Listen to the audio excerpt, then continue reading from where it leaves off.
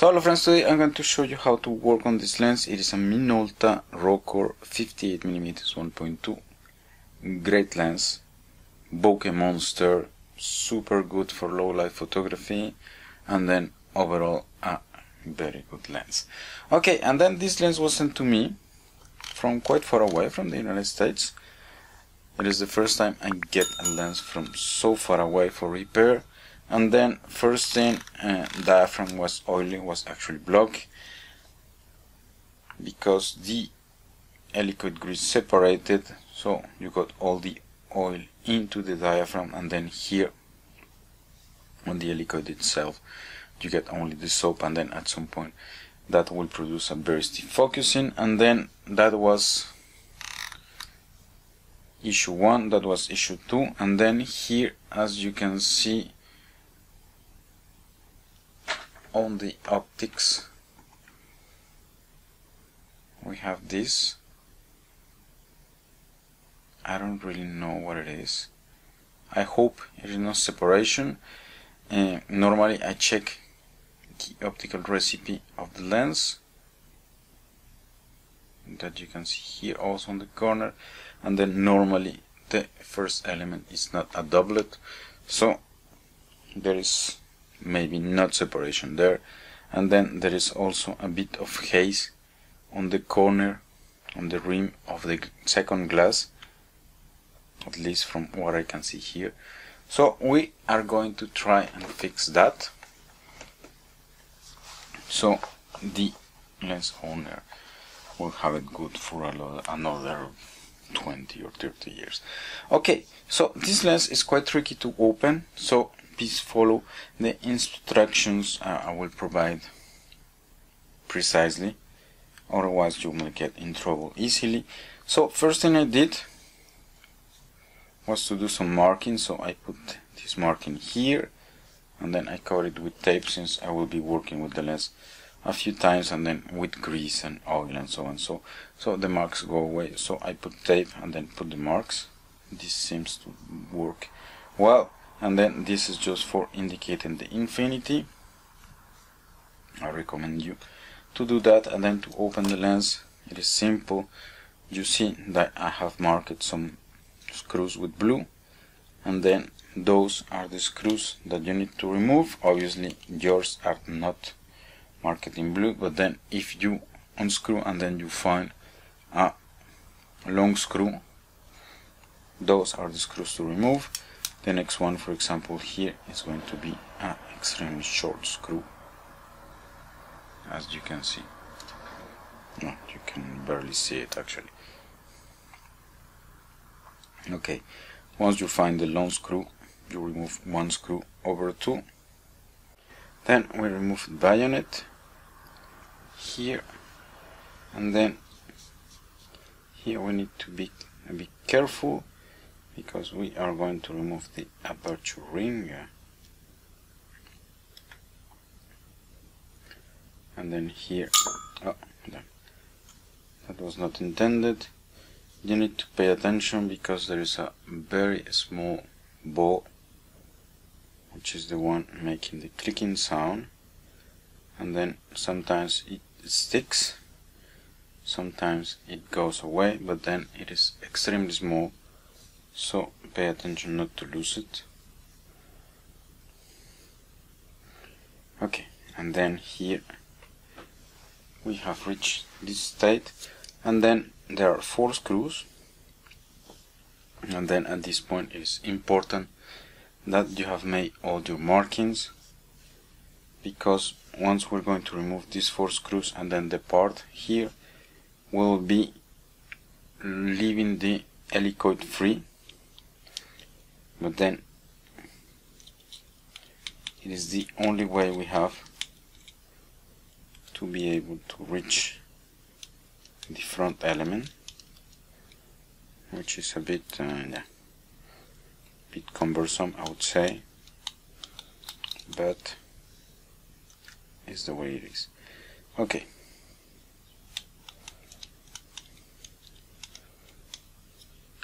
So I'll take this element here. And then with it I take out this key here that goes in to this slot. And then it is the one responsible for not allowing the helicoid to move uh, like that. And then just making sure that it goes up and down. Okay so so far so good. Now we have all our markings that we want to keep.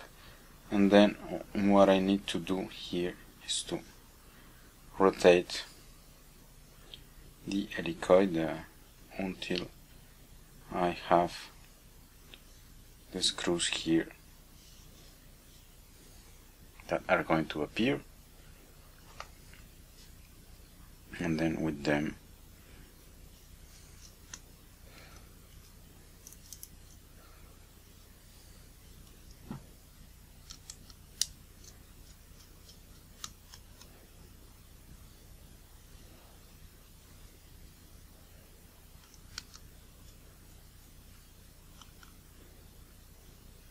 I am able to remove this part here.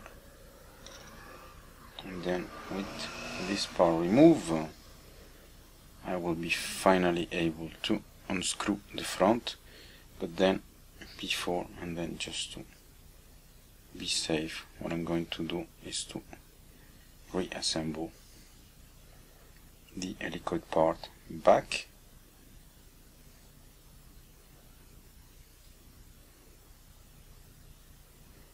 and then it's somehow a bit annoying because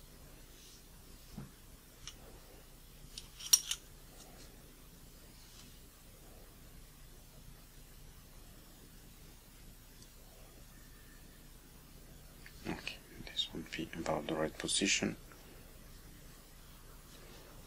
And then I will assemble this. So I don't lose my reference otherwise that will be really really problematic. So I assemble this intentionally.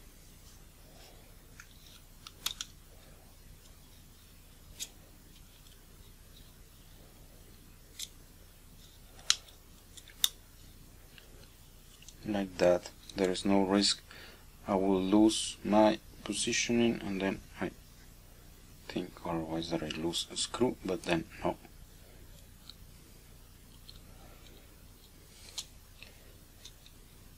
Okay. Like that I am safe. And then here I just need to pull this guy that I just removed. And then with some force no. I, I made it loose already before when investigating the lens but then the first time I had to use rubber gloves like this just to get enough grip and then be able to take out this element.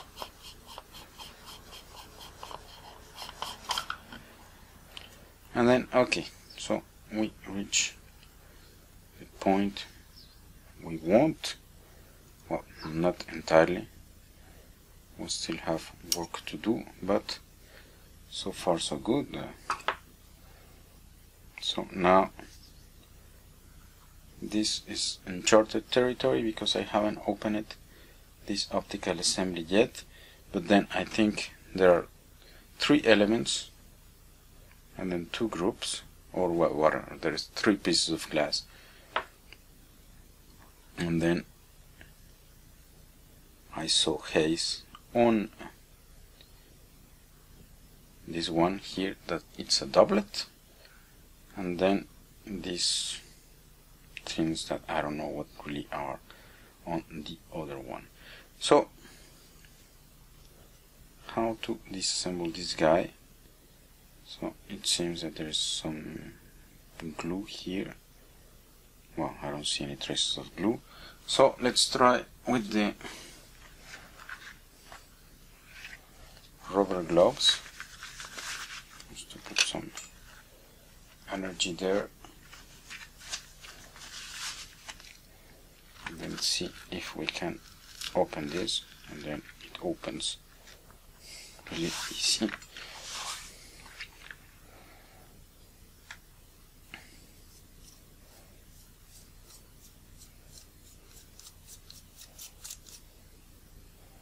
Okay, and then here I guess that I can pull this somehow. Not really, it is oily. And then actually the whole lens was very very very oily in initially when I got it.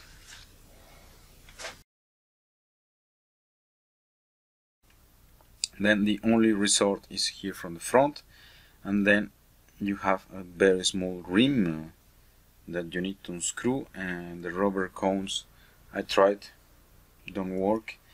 And then uh, the next option is the spanner and then I tried different spanners that I have. Well this is a compass. This one is too risky. This one and uh, the tips are a bit too big uh, and then this one is okay but then I was scared of this thing slipping and then scratching the glass. So this is why you see some tape. Okay now it's glued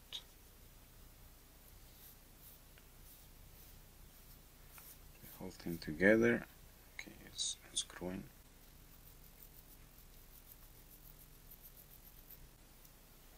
okay I got the ring. And then this guy here is not coming immediately. Let's try to be a bit savage. Ah okay. Here you go and then let me take just the whole patch out because we'll be using it after to rescrew the lens. And then here I see this surface. And then I think that is condensating condensated oil. Okay. I don't know if you were seeing exactly the same thing as I was okay so I got a bit overexcited about it. Okay so this is it. And then I will take my risk. And then yes it is condensated oil. Because I just remove it a bit with my finger and then it went away. So this is great news especially for the lens owner because we'll be able to fix that and then the other thing I saw. Okay. It is a bit of haze on the edges here. You can see there in the corner there is some haze. So we're going also to clean that. Okay. That was not the easiest of rides. But then we got what we want. So now we are going to proceed to clean the glass. So I'm going to replace my disassembling stuff by my cleaning stuff. So see you in a few seconds. Okay so here I am. I am back for the cleaning and then I have the cleaning stuff. So this is the lens cleaning fluid. Then I will have my tissue for the first cleaning and then a second tissue for the second cleaning. And then what else I need? That would be pretty much it. So at least for the time being I hope. And then what I'm going to do since this thing is mostly oil traces I'm going to take an older cloth just to avoid polluting with oil. My my more pretty cloths I would say. So I try to drop the cleaning fluid from above uh, not to pollute my cleaning fluid either with oil. And then here I do first cleaning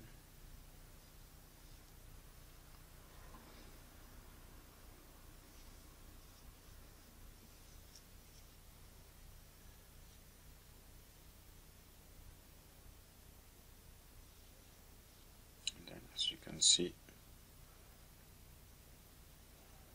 A lot of traces of grease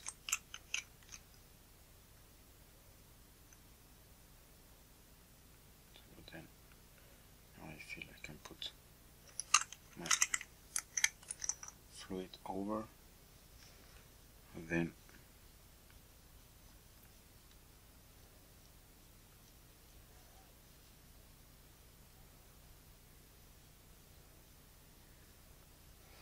and then I will proceed to using uh, now better cloths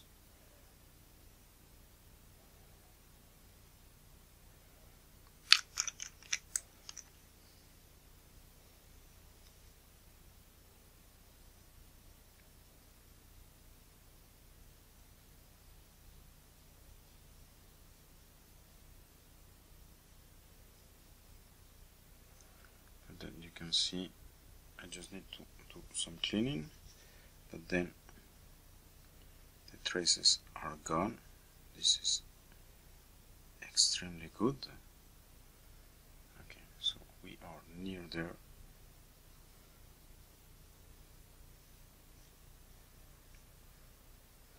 So I will do the final pass with a newer cloth. And then we can say we have cleaned this guy here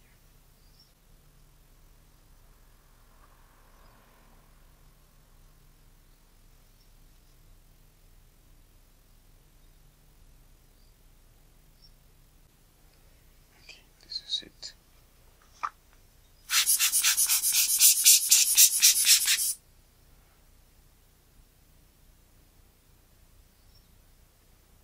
and then my surface is very very very clean so this is it for the cleaning. I will do the same thing on the other side with the haze but I don't need to show you the same thing twice. So see you in a few seconds just to reassemble the lens. Okay so here I am. I'm done with the cleaning and then as you can see now the lens is very very very clean. I notice however that there's a bit of separation so yes the lens are actually glued but then there is a bit of separation but that is another big job. So we're not gonna do it right now. And then what we need to do now is just to reassemble the lens. So it will be good for making nice photographies for yeah for another long time. So okay I made the choice of leaving the body like that. So I was able to keep my focusing now I just need to screw these guys in position. I need to be sure the lens is clean. There is a bit of yellowing. That you can remove simply by leaving it to a constant light for a few hours. A few a lot of hours. Or use your lens for black and white photography and then have a natural yellow filter. Okay so so far so good. So I just screw the block. Now we need to put again the housing. So to do so we will need to disassemble this part again. Just the housing for a few seconds. Just to be able to put this guy in position. I go to infinity so I have everything right.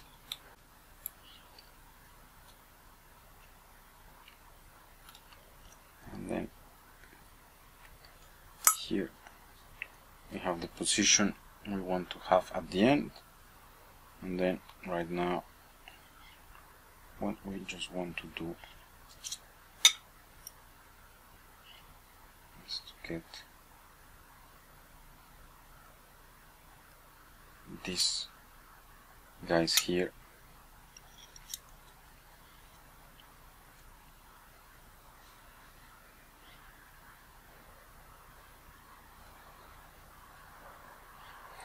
And then we put the three little screws that hold that guy in position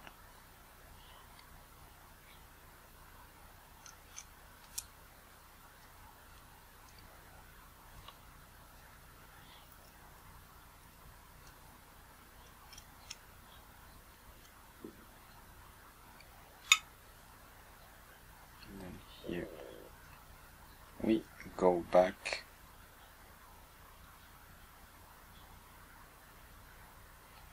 To about this position we have in the beginning. We'll put this part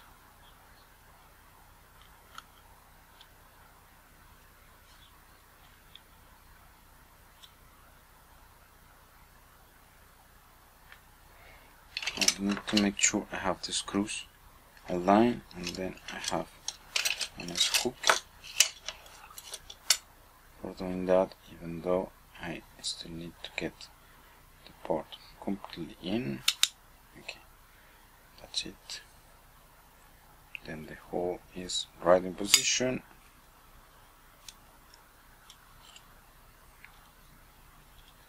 I just need to tighten again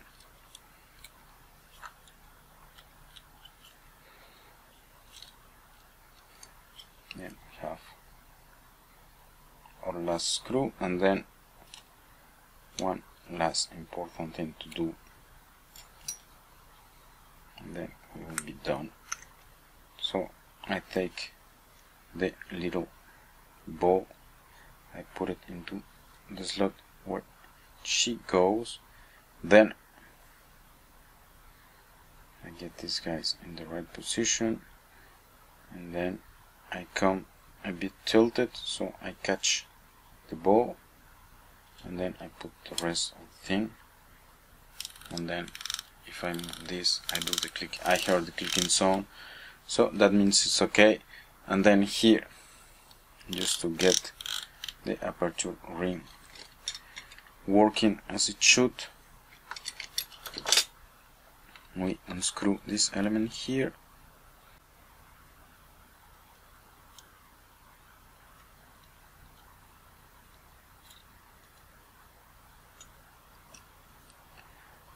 then what we should do is to get here.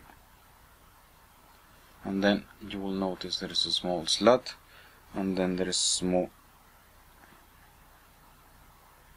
like lip here. And then what we should do just to get that guy right we screw again. And then here I have these two guys which are now connected. Uh, I did something silly.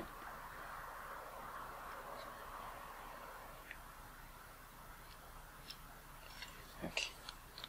So let me try to get all that again without messing up. Ah okay. This is the demo effect. I got the ball. Sticking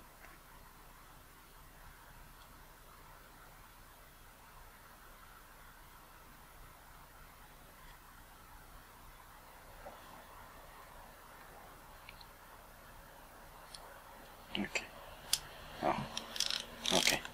I was able to catch up. I was afraid I was going to need to remove the whole thing but then I got it. I'm happy about it. And then just to finish we put the bayonet and then our cue is to have this guy pushing this guy here the other way around. So we get them to stick together. Then the screws then here you go. This is how you clean a Minolta 58 1.2 and then it will be keep going for many many years to come. So this is all I wanted to show today. Thanks for watching and see you next time eh?